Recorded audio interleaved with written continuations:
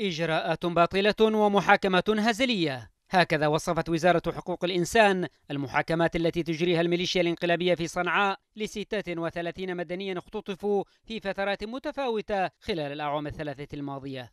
هي الجلسات الثانية التي تعقدها الميليشيا لمحاكمة هؤلاء المعتقلين الذين تم اختطافهم من جامعاتهم ومنازلهم وأسقطت عليهم تهم بدون أي مستند وفي ظل قضاء غير قانوني لميليشيا لا تمتلك أي شرعية وبإجراءات باطلة وفقا للبيان الصادر عن وزارة حقوق الإنسان. البيان. ذاته أفاد بأن أكثر من سبعين مختطفا قتلوا على يد ميليشيا الحوثي وصالح الإنقلابية جراء التعذيب البشع واللا إنساني في المعتقلات. إلى جانب 36 مختطفا من أساتذة الجامعات والحقوقيين والإعلاميين قامت بتقديمهم لمحاكمة سورية بصنعاء.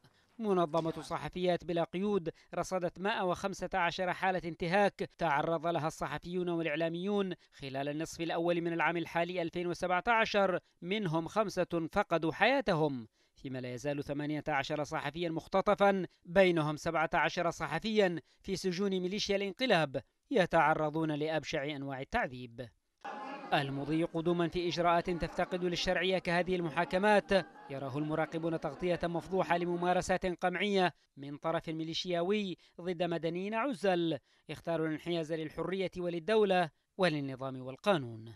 التغييب والتعذيب يدفع بالمئات من أمهات المختطفين وزوجاتهم إلى القيام بوقفات لا تنقطع منذ أكثر من عامين. وهذا النوع من المحاكمات التي تفضي إلى أحكام بالإعدام كما حدث بالنسبة للصحفي البارز عبد الرقيب الجبيحي يعمق آلام هؤلاء النساء ويضع مئات الأسر في مواجهات عدوان من جانب الميليشيا المتحكمة بالعاصمة لا حدود لصلفه وتماديه.